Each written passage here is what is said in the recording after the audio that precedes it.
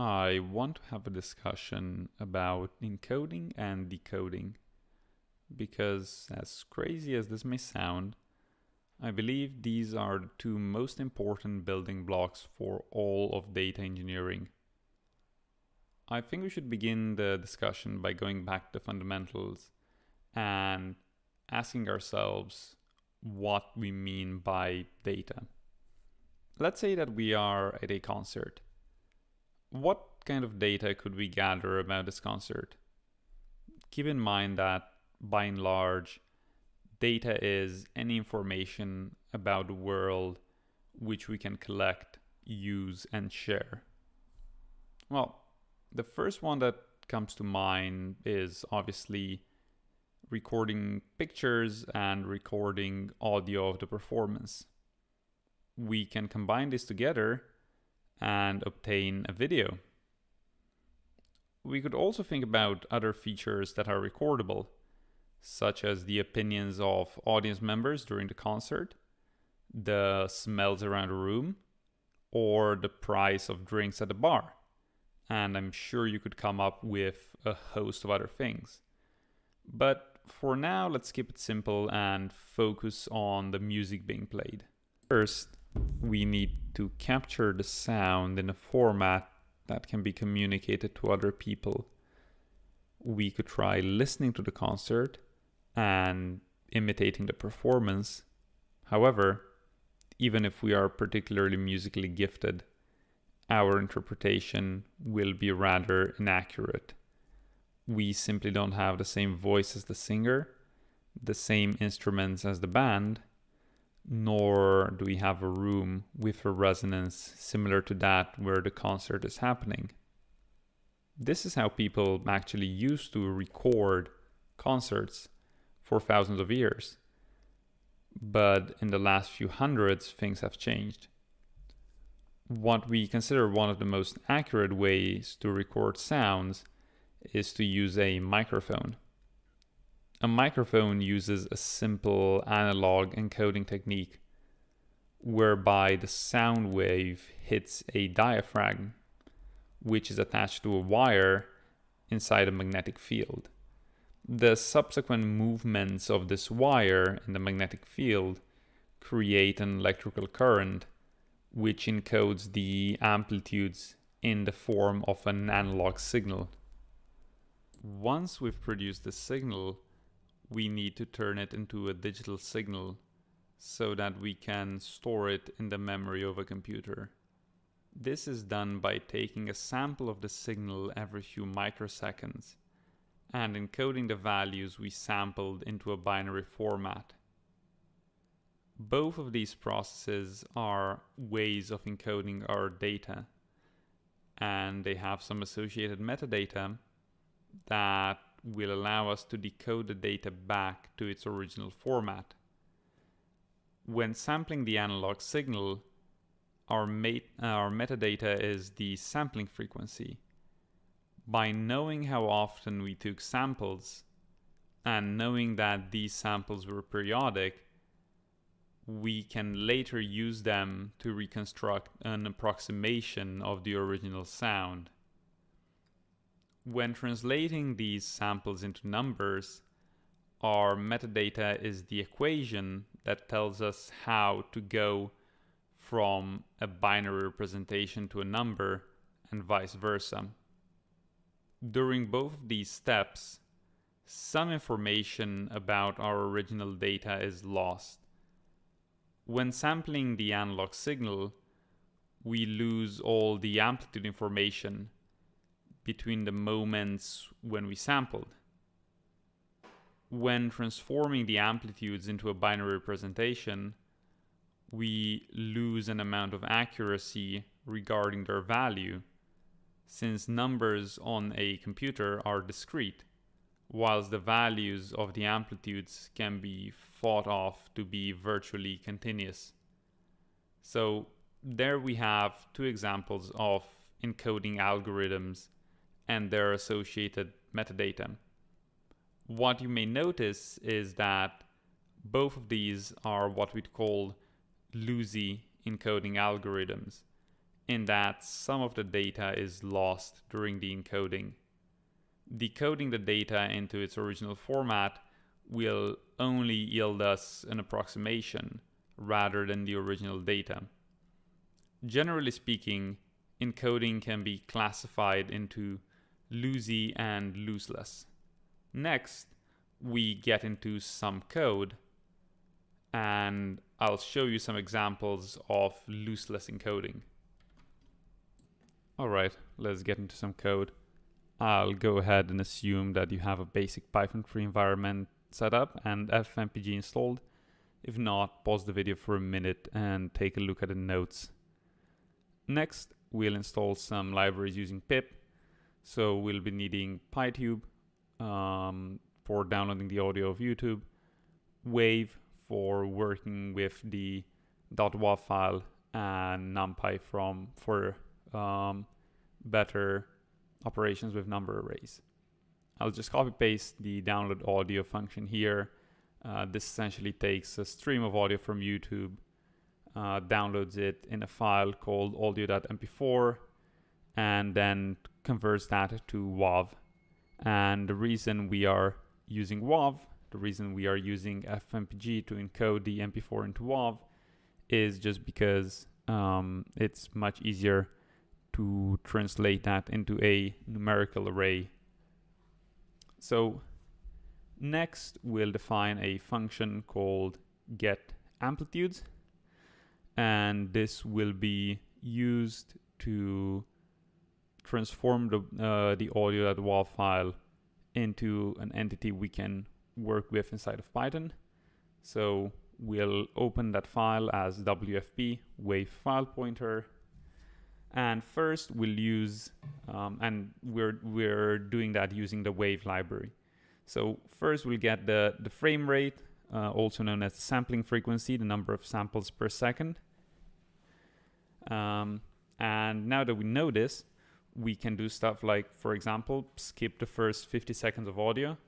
So just move the read cursor essentially past 15 seconds, which is 15 times the sampling frequency we'll be working with 25 seconds of audio here. Um, and that's just because I want to skip the, the silence at the beginning of the video and the song is quite repetitive. So, you know, we, we can we can just use the first 25 seconds of it and, you know, it'll be fine.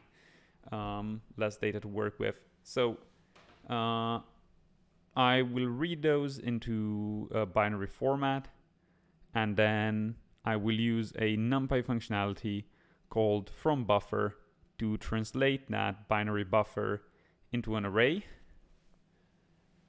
Um, this array will have elements of type int16. We could also wor work with something like int8, but we would lose some of the precision, so the encoding would be lossy. Or we could work with int32, but that would be pointless because we don't have enough accuracy to need int32. We just need int16. So next we'll split our amplitudes into channels because this is a stereo type of audio. It has two channels. So all the even numbers we can, or all the even indexes in the array, we can consider channel one and the odd indexes channel two. And finally, we'll return the sampling frequency, the two channels, and that should actually be enough um, to encode our video back into WAV. So this is an example of lossless compression. We haven't lost any information here. So as you can see here, we'll only work with one of the channels. Again, this is just to make our life easier. We could do the exact same thing with the second channel, or we could try combining the channels into one. Um, I won't call the download audio function myself because I've already ran that before and it takes a while to finish. And then finally, just to show you guys that all of this is working, I will use the length of the amplitudes divided by the sampling frequency to get the duration of, uh, of the audio sample we have here, and that should be 25 seconds. So just you know, open up a terminal, and then type python 3 and the name of your file And if you have everything working correctly, you should see the duration of our sample is 25 seconds.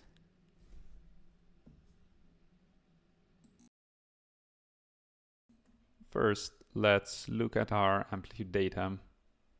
You'll notice here that some of the values are positive and some of the values are negative. That's because we can think of sound waves as being made up of peaks and valleys. The encoding we have right here chooses to represent the lack of sound as zero, the peaks as positive numbers, and the valleys as negative numbers. However, our data would be equally valid if we wanted to represent our amplitudes as positive numbers. For this, we could define a simple encoder.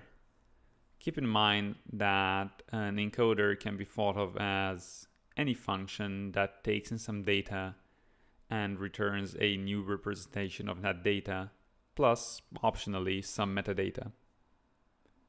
We could have a rather pointless, I would say, encoder that makes our whole signal positive, which would only need to return one piece of metadata, the absolute value of the minimum amplitude. And that would allow us to decode back the original signal. A decoder, I should mention, is essentially a function that takes in some data and some metadata and returns the original representation of the data. In this case, it's rather easy to define as you can see on the screen. Another way of encoding this data would be by getting the absolute value for each amplitude. This representation would allow us to easily answer questions about the loudness of the song. For example, here's how we get how we'd get the time for the loudest sample taken. The obvious disadvantage with this encoder is that to decode this representation back into its original format, we'd need to store quite a lot of metadata in the form of all the indices of the negative values. The correct encoding can allow us to completely shift the way that we can interpret and operate with our data. For example, we can use what we call a Fourier transform to transport this data that's currently in the time domain into the frequency domain. This is a two-step process. First, we'll compute the uh, discrete Fourier transform, what we call the DFT, uh, by using the fast Fourier transform, that's the FFT algorithm provided by NumPy. Then, based on the length of the signal, we'll get some frequency buckets, which represent frequencies in hertz, uh, which consti will constitute our x-axis of sort, so we can map the FFT values to those frequencies. Um, you don't necessarily have to understand this. Uh, if you haven't taken a signal processing class, it might seem a bit alien to you what we're doing here. And if you want to learn more about it, you can take a look at the notes below. It's beyond the scope of this course. So this representation here, uh, the frequency representation, is quite useful to us because we can do stuff like filtering frequencies, for example. So this kind of representation of a signal might be used by, say, a digital sound card in order to make the bass more powerful or apply a particular effect but only on treble, only on the high notes, or turn down the volume but do that only for the mid-range. So let's go ahead and plot this FFT. All right, let's take a look at our graph here. First thing you might notice is that it's symmetrical on along the x and y axis don't really care about why that is. We can just zoom in on one of the quadrants to get all the insights we need here. And if you zoom in, what you'll see here is the amplitudes for various uh, frequencies in our song. So essentially you will be able to see what are the most important frequencies in this song. I want to look at this because it can give us an interesting insight into how someone who's not a musician or in general someone who's not necessarily trained in the specific domain where the information is gathered can use encoding in order to get more information about the data in order to access insights that may otherwise only be available to a, practitioner of the specific domain or who may not be available at all to anyone if he or she was looking at the data in its standard encoding. So the first thing we might be able to notice here is a pattern of most peaks having a correspondent peak at twice the frequency. Let's take here, for example, this peak at around 988 to 90. And if we look further down the x-axis, sure enough, we'll find a peak here at around 1980. Uh, another example, we have this peak here at around 82 and if we look further down, we'll find another peak at around 164. And that might be a bit of a curious observation if you've never played an instrument or studied musical theory. The reason why that happens is because when a string vibrates, that string will produce what we call harmonics. So if that string is tuned into a C5, for example, it'll also produce a C6 and a C7 and a C8 and a bunch of other notes that are one octave higher or two octave higher or X octave higher than the note the string is tuned into. And what an octave means is a note with a frequency twice as high.